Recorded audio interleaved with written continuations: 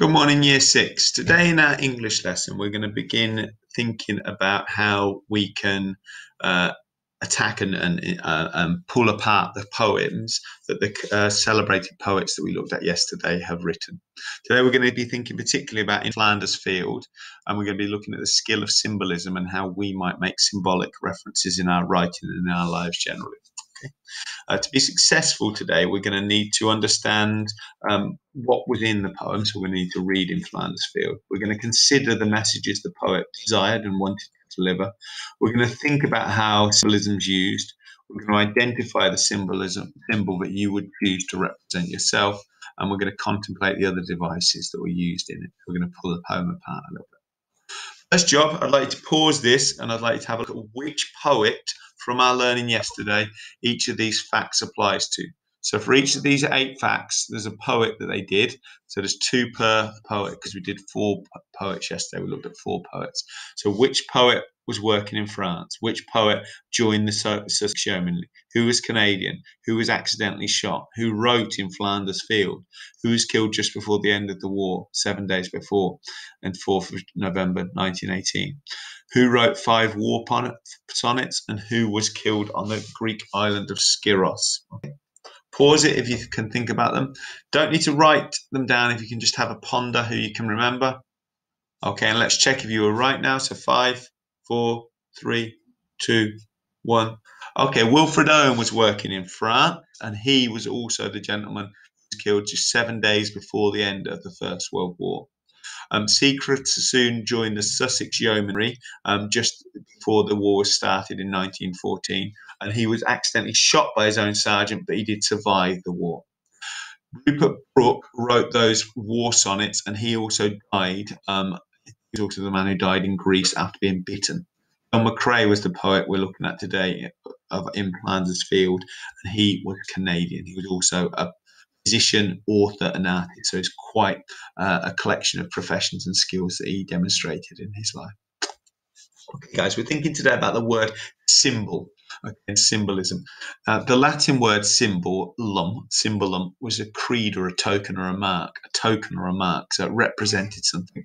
And a sim- symbol is a, some, something that represents or stands for something else. It shows um, what something else means, okay? Especially a feeling, an abstract concept, so lo- love or anger or fury or, or a belief. Okay, an, an, example of a belief being represented might be a cross or another in, in indication of faith, or you could have something such as this, which is a representation of the 1960s and 70s uh, anti-nuclear movement, which were campaigning against nuclear weapons, and they wanted people to be at peace with one another. Synonymous then with symbols would be um, sign or a representation and antonymous so the opposite of those would be blank or random so no image at all a symbol that I have in my life on me is my wedding ring. Okay, that symbolizes a commitment that Mrs. Spring and I made to each other when we got married. Okay, so that's a symbolic item of clothing. Okay, it's not something that has a function really. It's, it's something that it represents something. Okay, so here's our poem. I'm going to read it to you. I'd like to read it twice, and after we've read it twice, we're going to think about some of the different uh, elements of symbolism within the poem. So it's by John McCrae, who was, as I've said before, a, a, he was a poet, but he was also a soldier and he was also a, a medic. So he was somebody who cared for people. In Flanders fields the poppies blow, between the crosses row on row, that marks our place, and in the sky the lark still bravely singing fly. Scarce heard amid the gardens below, we are the dead, short days ago. We lived, felt dawn, saw sunset glow, loved and were loved, and now we lie in Flanders fields. Take up our quarrel with the foe, to you from failing hands we throw. The torch be yours to hold it high, if ye break faith with us who die. We shall not sleep though poppies grow in Flanders fields. Okay, so just sit on it for a second, have a think about how it makes you feel. Now we'll read it again. Flanders fields the poppies blow, between the crosses row on row, that mark our place, and in the sky the lark still bravely singing fly. Scarce heard amid the guns below, we are the dead short days ago. We lived, felt dawn, saw sunset glow, loved and were loved, and now we lie in Flanders fields. Take up our quarrel with the foe, to you from failing hands we throw. The torch be yours to hold it high If ye break faith with us who die, we shall not sleep though poppies grow in Flanders fields. So as I read it and was thinking about it, I noticed certain aspects of it that I'm going to unpick with you later. But as I read it, it made me feel very aware of the rhythm of it. So the dun, dun, dun, the rhymes at the end of the lines resonated. That that was something I was aware of. It also felt very mournful, very sad. Okay, there's references to death. There's references to war with guns. There's references to the fact that you don't normally hear many birds because of the guns being there it made me feel quite pensive, so thoughtful about things.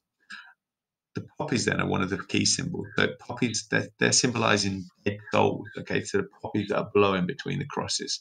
Okay, the poppies that are there swinging in the wind. Okay, there's crosses either side of them where people's graves are marked. And Flanders was this place where lots of the fighting happened. That's why the fields there are resonant for people. The torch then, to you, to you we pass this torch. Okay. So the dead are passing the torch. That means they're passing the hope. They're passing the hope to the future. That's a symbol of hope. Here we've got lark, the lark still bravely singing. Now they're ahead of the noise of the guns. And that's hope, life. That's the idea that symbolizes that things could get better. The row on row of crosses not just the rows of poppies, but the rows of um, dead soldiers. Okay, the row on row. Okay, so the poppies blowing, blowing that row on row are also the dead soldiers that are lying dead next to each other. What do you think of when you see a poppy? We see them a lot in October and November. People wear them around Remembrance Day. People choosing. Sometimes they're controversial because people feel people should choose to, should should should be made to. Do you think they evolved as a symbol because they grew in the fields, and because they grew in the fields, people thought that they could represent the soldiers, and the wives and the families of soldiers knitted them and made them, and then sold them to raise money for the soldiers and for the families of soldiers who were no longer able to earn because they were dead or hurt. They become a symbol that's associated, but they do have a, a link originally to the fields where the soldiering took place. How do you feel when you see the images in the left the top one on the left has the flags to show the symbol, to symbolize the country that people come from. The ones on the right have the symbols of the poppy on each of the crosses to show where the soldiers, that the soldiers are dead and they're being remembered. The cross is a symbol in and of itself. It's a symbol which shows um, that somebody's likely to have a link to the faith, to Christianity. Symbols aren't limited just though to the idea of um, faith or to the idea of war. We see symbols all the time. We see symbols in an emoji. What symbol is the one on the left showing? Am I happy or am I sad or am I cheeky? The one in the middle is somebody in love or is somebody angry? The one on the right, are they confused or clear? You know better than I do what a text message emoji would show. So what do they show? What do you think a symbol is? We looked at it as a definition in our first piece of work. Can you say out loud or can you say to somebody else what a symbol is? Or can you think about what a symbol is?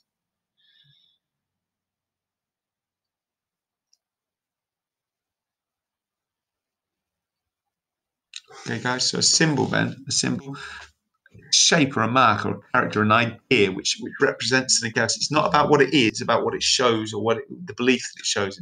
It's like a shorthand, it's a simple way of saying or showing an idea. What do you think? Your idea or your definition similar? What do you think these two symbols show? You've got a sheet to complete later. If you want to, you can find out what they mean and then summarize it. Or if you want to, you can have a write down now what you think they show. What do you think the C within the black circle shows? What do you think the skull and crossbones show? Okay, so the C is about copyright. It basically means that you can't make the same product and sell it as I've made. So if my tie was very fancy, it might have a copyright sign somewhere on the back of it, which would mean that another company couldn't copy it and sell it as though it was a new idea. It means that that, oh, that idea is owned. And the actual C copyright itself is a symbol that we know everywhere. Okay. The skull and crossbones then is quite interesting. Sometimes we think of it as a sign of pirates, so you might see it on a flag.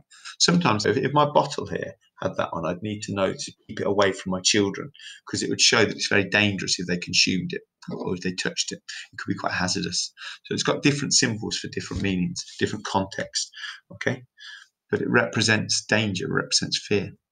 These two? We've talked a bit already about the campaign for nuclear disarmament, and that's a symbol. It didn't just symbolize that, it became a symbol that people put together as hippies. So, these ideas that people were counterculture in the 1960s against war, but against some of the conventional ways of living originally it was just about nuclear disarmament. It was about the British campaign for nuclear disarmament, but it became a symbol which showed people who were against maybe having normal jobs, maybe against going to work in normal ways, in favour of protecting the environment. It became about a whole belief system. This symbol, if I do it to somebody, it means a good thing. It means perfect, brilliant. However, in some countries, it can be quite a rude symbol. In Brazil and uh, areas in the Middle East, such as Iran and Iraq, it can be a rude symbol. And in Japan, it means money. So symbols can be differently taken, can be representing different things in different places to different people. Writing, sometimes characters can be uh, doing things or talking of things symbolically. So in a book of Mice and Men, there's lots of talk about rabbit, and the idea is that this character Lennie he, he, he wants about dreams for the future, and the idea that they've got freedom is represented in the rabbits. Okay, and the rabbits having actions is about freedom. William Wordsworth was another poet, and he used symbolism in his poem. I wandered lonely as a cloud that floats on high over vales and hills, when all at once I saw a crowd, a host of golden daffodils, beside the lake, beneath the trees, fluttering and dancing in the breeze. Continuous as the stars that shine and twinkle on the Milky Way, they stretched in never ending line along the margin of a bay. Ten thousand saw I at a glance, tossing their heads in sprightly dance. So, what do you think the cloud symbolizes there? We said stanzas there. So there's two stanzas, two verses, two collections of writing within the poem. What what objects are there in there? What could they be symbolizing? What what do they represent? What do you think? Is it while you think about that? So the objects I noticed was five, four, three, two, one. Objects I noticed then the idea of cloud, daffodils, and stars. If I'm thinking about the cloud, I'm thinking that it's showing it's on its own, it's lonely. I'm thinking the daffodils are symbolizing host, hope, and future, their growth. I'm thinking the stars show the show the enormity of the world, how massive everything is.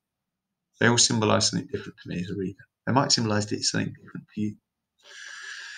What, what picture would you draw to symbolize yourself now? Would it be a question mark because you're not sure what's going on? Would it be a, a, smile to show something? What would it be? Would it be a sun to show that you're beaming, radiating, you're happy? Would it be rain to show that you're unhappy? Would it be would it be would it be would it be hands over your face to symbolize that you're fearful? What would a symbol? Would it be a, a plant starting to grow? What would a symbol be for you? Draw that in that your pad, please. Maybe you just for today. You know, I'd, I'd like to try and guess what it's about if I can. See, see maybe we can share it in one of our Zoom meetings. Right, guys, just at the end of the session, you're going to go through this poem again. You've got to think about the number of stanzas, so you've got that question. So remember that's a section of the poem.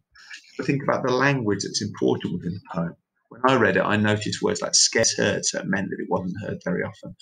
Lived rather than live, so it shows that the protagonists in the poem are dead. Quarrel, so an argument is to continue but this argument is carrying on. It's, this take up our quarrel with the foe. So somebody else is going to take over the battle.